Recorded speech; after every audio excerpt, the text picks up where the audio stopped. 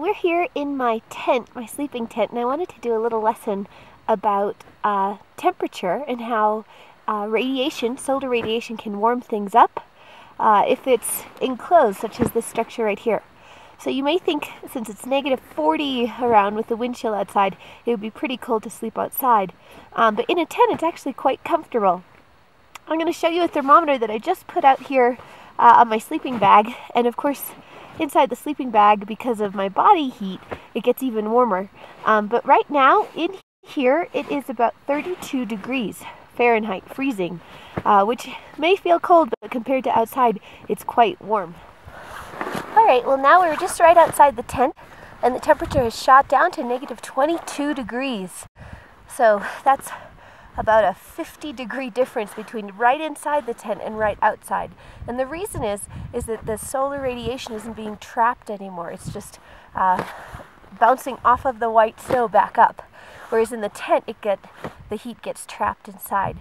Let me show you the thermometer, and then we'll do a short experiment. Okay, so what I have here are two uh, thermometers measuring negative 22 about Fahrenheit.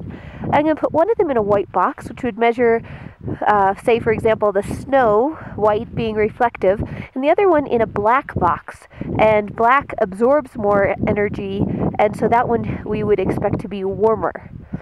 Here are my two thermometers in the boxes. You see we have a white and a black one. Both are sitting in the sun, and I'll come back and measure these in a little bit. I just put them in. You can see the white one's at negative 22 or so. Wow, and the black one's already starting to go up. It's at 24 degrees already just from being uh, in that black one, which is absorbing heat.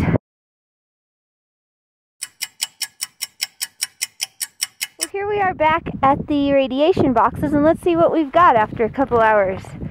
Here's the white box, and it is still at negative 20.